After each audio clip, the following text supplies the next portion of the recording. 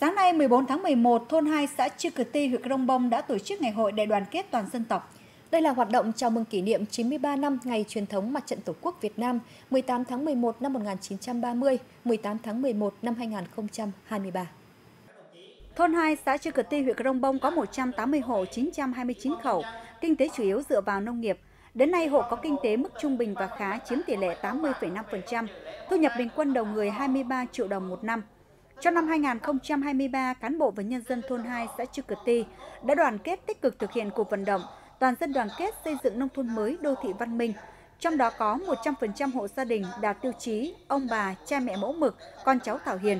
100% trẻ em trong thôn đều được tiêm chủng đầy đủ theo chương trình tiêm chủng mở rộng. 156 gia đình đạt danh hiệu gia đình văn hóa.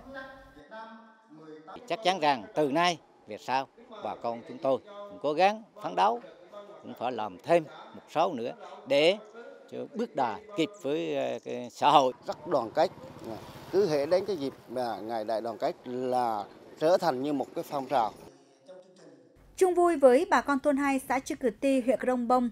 Trong ngày hội đại đoàn kết toàn dân tộc, đại diện đoàn công tác của Thường trực tỉnh ủy Đắk Lắc đã biểu dương khen ngợi những kết quả nổi bật mà nhân dân nơi đây đã đạt được, đồng thời mong muốn bà con tiếp tục nâng cao tinh thần đoàn kết vượt qua khó khăn, tập trung phát triển kinh tế, chia sẻ giúp đỡ nhau trong cuộc sống phát huy bản sắc văn hóa truyền thống tốt đẹp và sức mạnh đại đoàn kết toàn dân tộc, phấn đấu xây dựng địa phương ngày càng giàu đẹp, văn minh, hiện đại.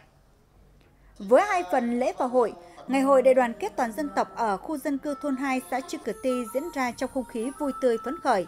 Qua đó đã góp phần thắt chặt tình đoàn kết trong cộng đồng dân cư, tạo thêm động lực để nhân dân tiếp tục thi đua, lao động sản xuất, xây dựng quê hương.